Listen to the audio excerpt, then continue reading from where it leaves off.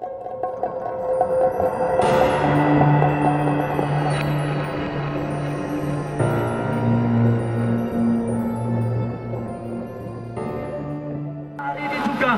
mengenang kembali 15 tahun yang mana kami telah menyatakan kepada negara jika negara tidak mengakui kami maka kami tidak akan mengakui negara. Masyarakat Indonesia masih terus mengalami penindasan baik manusia atas manusia dan bangsa atas bangsanya sendiri. 2014 kita hadir di bundaran Hotel Indonesia pada hari dan tanggal 17 Maret 1999 yang lalu 15 tahun yang lalu para pejuang masyarakat adat dari seluruh Nusantara dan menyatakan tegas menyatakan mufakat bahwa sejak tanggal 9, 17 Maret 1999 kita masyarakat adat Nusantara bangkit bersatu. Bangkit bersatu bangkit bersatu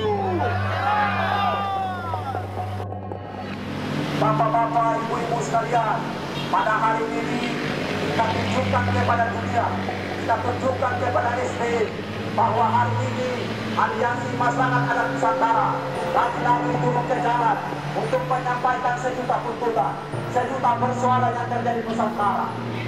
Tanpa adanya masyarakat adat, tidak mungkin kita akan memakan negara kita sebagai Indonesia. Tanpa adanya masyarakat adat, tidak mungkin kita akan bisa bersatu dari Sabang sampai Merauke.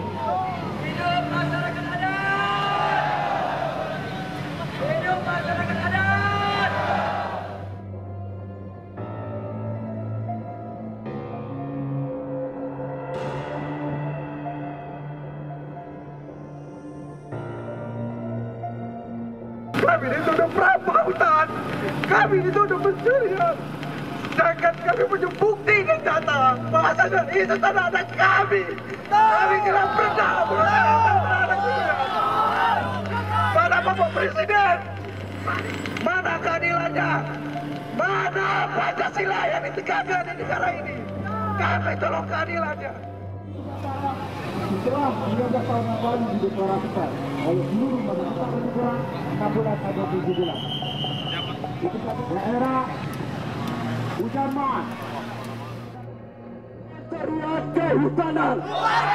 Kementerian Kehutanan. Kementerian Kehutanan. Kita sudah sampai di depan kantor Kementerian Kehutanan dihadapi oleh masyarakat adat. Kehutanan perlu tahu bahwa sikap masyarakat adat adalah seperti ini. Kami tidak perlu kata-kata. Kami perlu tindakan. Kami perlu tanah-tanah kami. Hutan-hutan kami dikembalikan. Kami perlu saudara-saudara kami yang ditangkap. Dibebaskan segera.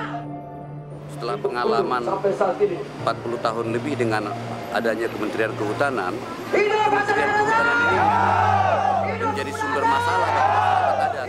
Ya, sumber sumber menjadi, menjadi perampas hak, ya, menjadi sumber kekerasan juga ke masyarakat adat. Itu.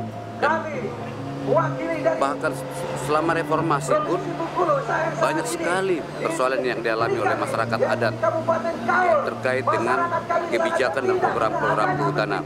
Bahkan saat ini mereka pun dengan sangat eh, eh, luar biasa mengerahkan sumber daya supaya hutan desa, HKM, hutan tanaman rakyat masuk di wilayah-wilayah adat untuk melemahkan status status kepemilikan masyarakat adat atas tanah.